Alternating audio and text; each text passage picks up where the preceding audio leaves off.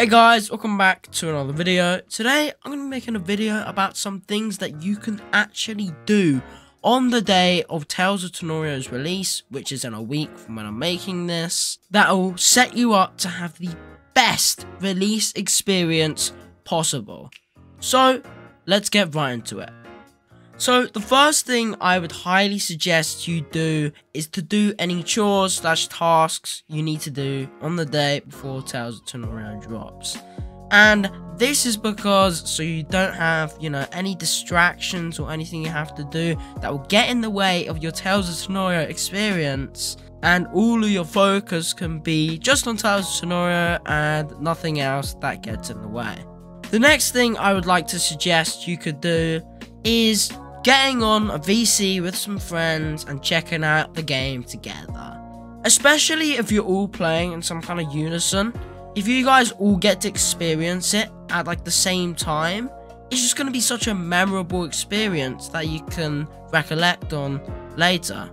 And personally for me, it will elevate the experience to a whole nother level than what it could have been if you played on your own.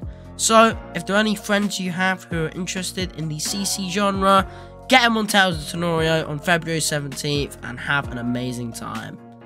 And if you can't get on with any friends, then the next best alternative is watching a streamer. Watching a streamer can be quite an interesting experience because you know you get to see another POV of the game and just have someone and a chat to talk to. And a little heads up, I will be streaming Tales of Tanorio on release, so if you are interested in me personally streaming, I will see you then.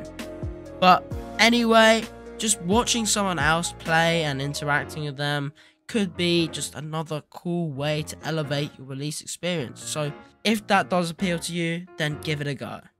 As for the last thing I would like to talk about in this video, Although it kind of does oppose my previous point, it's still a really interesting and good way of experiencing the game. And that is going in completely blind. So switching off Twitter, YouTube, just anything where spoilers could come out from, and taking the game at your own pace and style. This is obviously a really cool way of playing through the game because you get to experience anything for yourself as good as they with no one else to influence. All the choices will be made by you, and you just get to go along in your own way and do what you like. So that's probably going to be it for this video. If you guys are going to be using any of these, then let me know in the comments and spread the word so others can get a feel how they want to be playing Tales of Tanorio and just making their release experience better. So yeah, I don't normally do this, but according to YouTube, 94% of viewers are not subscribed. So if you want to make that number a lot less, then make sure to subscribe because a bunch of Tales of Tanorio content is coming your way. And I will see you in another video. Goodbye!